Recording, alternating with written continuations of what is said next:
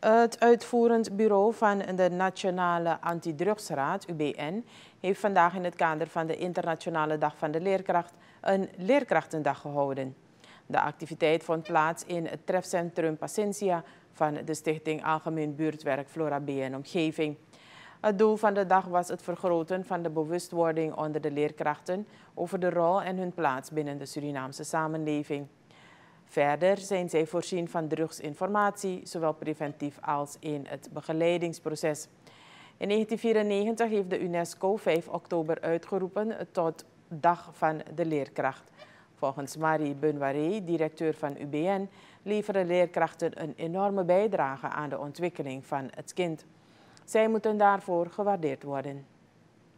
De bedoeling is dat de leerkrachten een presentatie krijgen. Ze hebben ook een presentje ontvangen en daarna uh, krijgen ze informatie over de verschillende activiteiten. Eén van de NAR, van uh, de verschillende organisaties binnen de groene zone, dat is de primaire drugspreventie, maar ook de rode zone, dat is de um, tertiaire drugspreventie. Het is goed dat leerkrachten weten naar wie ze kunnen doorverwijzen indien er een kind is die eventueel naar hun vermoedens drugs heeft gebruikt. Dan kunnen ze doorverwijzen naar het PCS of naar een van de andere behandelinstellingen. Dat is de reden waarom wij deze dag organiseren.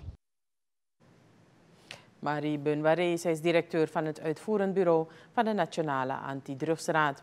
Het UBN heeft vandaag een leerkrachtendag gehouden te Flora B.